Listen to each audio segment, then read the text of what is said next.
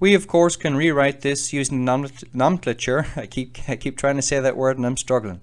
Uh, we use the nomenclature and we rewrite it using a single integral operator, but we imply it to a surface integral using the letter s, and we have dA implying del, uh, dx dy as well.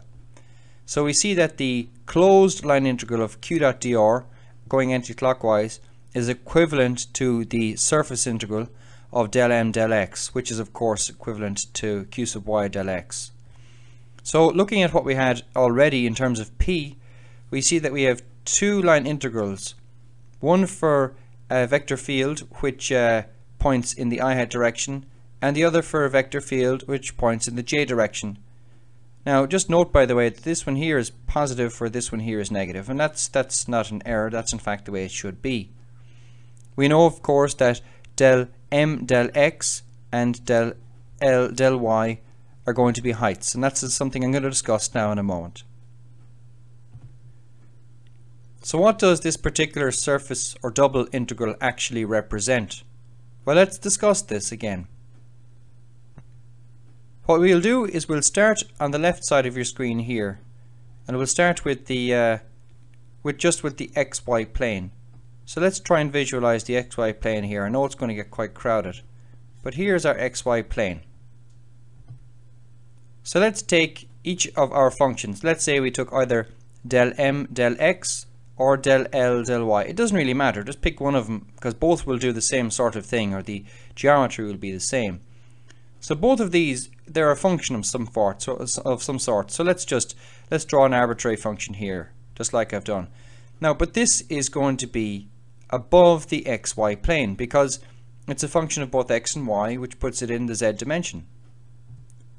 What this means, though, is that the projection of the surface del m del x or del l del y onto the xy plane will or the yeah the surface up here whatever it is is going to give you the surface enclosed by the line C.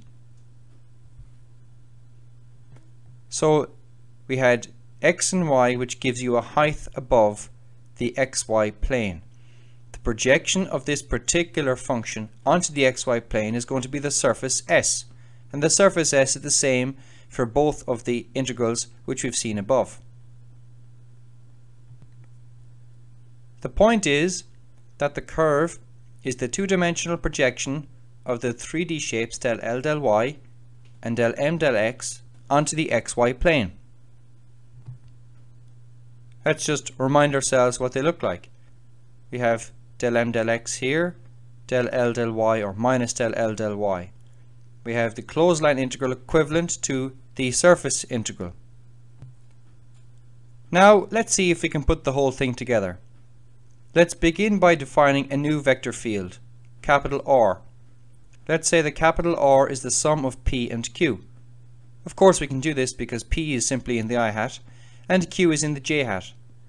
Or we know that we can rewrite as an L and M. Now the reason I'm doing this is because some people use L and M, some people use P and Q. So I'm trying to cover all of the bases. Now let's see what would happen if we took the closed line integral of the vector field capital R dot dr. Well, capital R now has both an i hat component and a j hat component. So when you dot it with small r, you'll still have two components, one in the x and one in the y, just like we have here.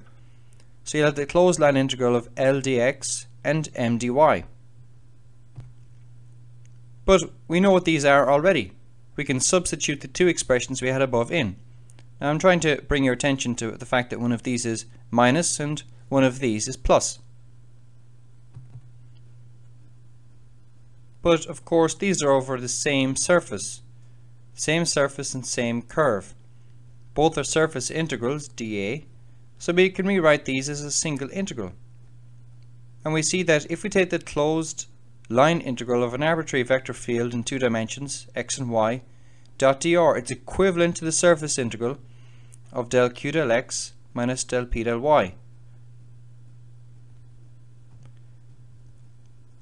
Or del del L del x, excuse me, del L del y and del M del x.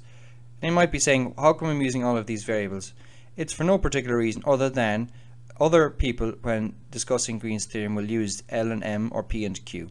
So I'd just like to show you where they go. This is Green's theorem.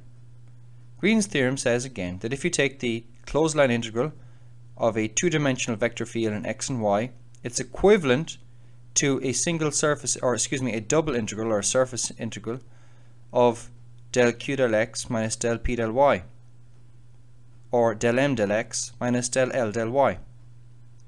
It's the three-dimensional version of what's called the divergence theorem. It's kind of like that, and later on I will show the relationship between Green's theorem and the divergence theorem.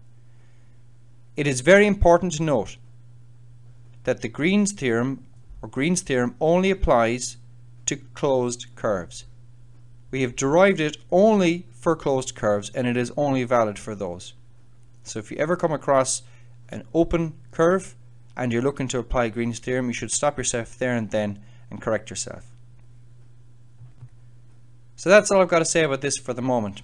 In the next video I shall derive, Green, derive Green's theorem using a slightly different method and use Stokes' theorem.